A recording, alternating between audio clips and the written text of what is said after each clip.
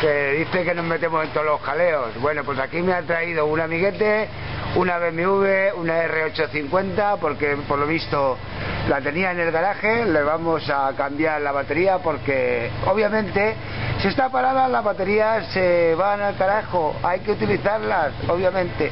Y nos vamos a dar una vuelta con esta 850 que está claro, tiene que ir como la seda.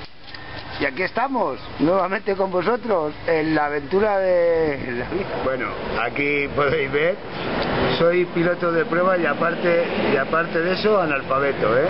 Pero vamos, si hay algo que se pueda conducir, un camello, una cabra, un borrico, yo conduzco lo que haga falta. Bueno, aquí podéis ver dónde va introducida la batería, ¿eh? el habitáculo, hemos tenido que desmontar las carcasas de protección, pero no tenía la cámara y no la he podido enchufar. Los, los aletines de protección de los sistemas de refrigeración del aceite los hemos tenido que soltar y ahora pues a poner tornillos las cosas en su sitio porque no tienen otro lugar.